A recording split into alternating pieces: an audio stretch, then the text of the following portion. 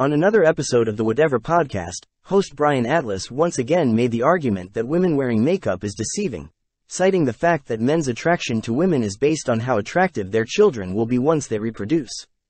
Insinuating that makeup makes it hard for men to determine this when meeting a woman.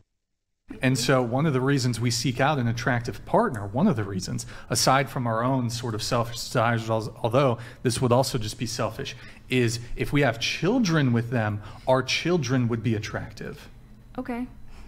Okay. Not necessarily. So, when a woman lies about her physical appearance, either through makeup usage, plastic surgery, or filter I was usage. waiting for you to make that connection, and that's really what it is. Like you really like you get into a relationship with someone thinking about like what your future boys are gonna look like.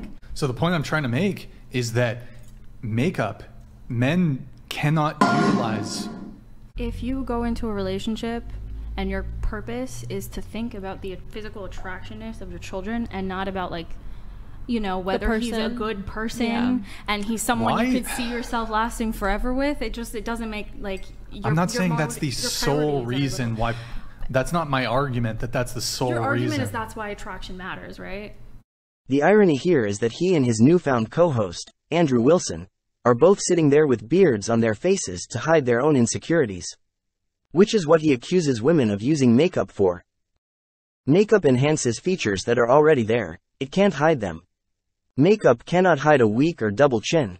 Beards can. And beards do. If makeup is deceptive, then beards are equally as deceptive.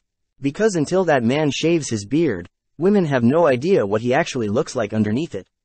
They have no idea if there's a weak chin there, or a double chin, or no chin at all. A woman's makeup is taken off every day, easily wiped off of her face when the day is over. A man doesn't shave his beard every night to reveal what's underneath. A man isn't going to just shave his beard the first night of meeting a woman so that she knows what he really looks like underneath. He isn't going to shave it the next day either, or the next. Men rarely will shave for a woman, period, if they have beards or any kind of facial hair. So if it's so important to be upfront and honest about what your entire face looks like for the reproduction of future offspring, then you shouldn't grow a beard until after you've already secured a woman, so that she can see what your face looks like entirely.